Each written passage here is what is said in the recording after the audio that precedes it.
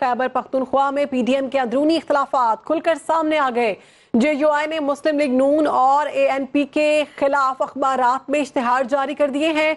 इश्तहार जे you आई के मरकजी रहनुमा लियाकत खटक की जानब से जारी किए गए हैं। इस बारे में बताइएगा, यासर। जी देखिए कुछ रोज कबल जो है प्राइम मिनिस्टर से एमल वली अवामी नेशनल पार्टी के जो सरबरा हैं इस वक्त मौजूदा, उनकी और पीपल्स पार्टी के वफ की मुलाकात हुई थी। उन्होंने गवर्नर खैबर पख्तनख्वा हाजी गुलाम अली के खिलाफ जो है शिकायत के अंबार लगा दिए थे। साथ साथ उनका कहना था कि गवर्नर हाउस पिशावर में उनके दाखिले पर भी पाबंदी आयद कर दी गई है और मुबैना तौर पर गुलाम अली जो है, वो अपने मनपसंद अफराद की पोस्टिंग और ट्रांसफरिंग कर रहे हैं।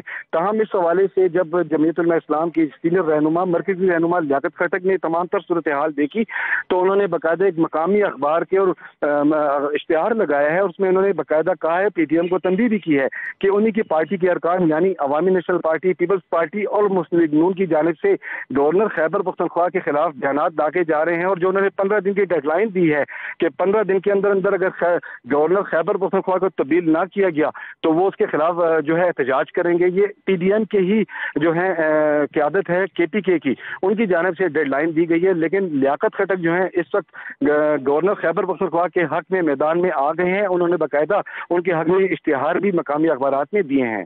जी। ठीक है, बहुत शुक्रिया, आपने हमें अपडेट किया।